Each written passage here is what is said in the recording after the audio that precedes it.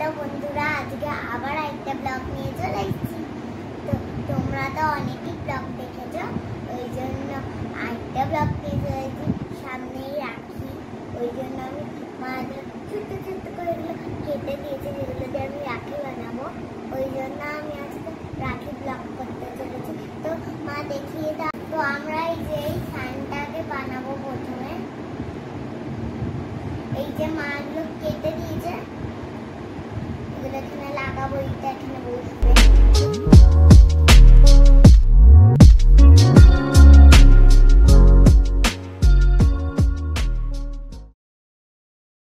মিডিলে বসাতে হবে।